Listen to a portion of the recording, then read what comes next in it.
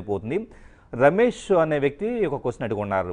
How to activate Windows అని చెప్పేసి first of all మీరు జెన్యున్ లైసెన్స్ వాడుతూ ఉంటే గనక ఖచ్చితంగా మీరు యాక్టివేషన్ సర్వర్స్కి మైక్రోసాఫ్ట్ యాక్టివేషన్ సర్వర్స్ ఉంటాయి.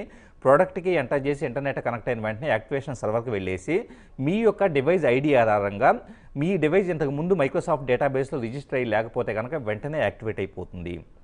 ఇక్కడ గుర్తుపెట్టుకోండి మీ ప్రోడక్ట్కి నిజంగా కొనుంటే కనుక మీ ప్రోడక్ట్కి ఒక కంప్యూటర్లో మాత్రమే పనిచేస్తుంది. మీ ల్యాప్టాప్ కావచ్చు పీసీలో కావచ్చు సింగిల్ డివైస్లో మాత్రమే పనిచేస్తుంది.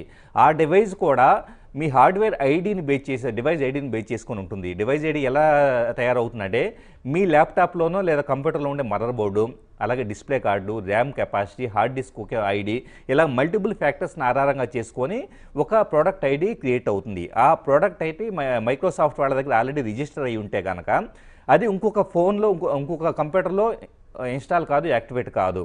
సో ఒకవేళ మీరు ఎప్పుడైనా మీది పర్టికులర్ విండోస్ కంప్యూటర్ని ఫార్మాట్ చేసి మళ్ళీ ఇన్స్టాల్ చేస్తే కనుక అదే కంప్యూటర్లో ఇన్స్టాల్ చేస్తే కనుక మీకు ఎలాంటి ప్రాబ్లం ఉండదు వెంటనే యాక్టివేట్ అవుతుంది. ఇకపోతే మీరు పైరేటెడ్ వాడుతుంటే కనుక హండ్రెడ్ పర్సెంట్ చాలామంది ఈ మధ్య రకరకాల యాక్టివేషన్ టూల్స్ వాడుతూ ఉన్నారు. కేఎంఎస్ అని చెప్పేసి రకరకాల టూల్స్ వాడుతూ ఉన్నారు.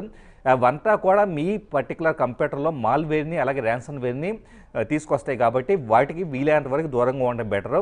ఈరోజు మీకు మైక్రోసాఫ్ట్ విండోస్ ఆల్మోస్ట్ నాలుగు వేల నుంచి ఐదు వేల రూపాయలకే ఒరిజినల్ యాక్టివేషన్ అనేది వచ్చేస్తుంది.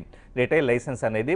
దాన్ని కొనుగోలు చేసి మీరు ఇన్స్టాల్ చేసుకుంటే కనుక హోమ్ వెర్షన్ తీసుకోండి. మీరు ప్రో వెర్షన్ కొనాలంటే లెవెన్ థౌజండ్ టెన్ థౌజండ్ ఖర్చు పెట్టడం కష్టం అనుకుంటే హోమ్ వెర్షన్ తీసుకుంటే హ్యాపీగా మీరు ఇన్స్టాల్ చేసుకోవచ్చు.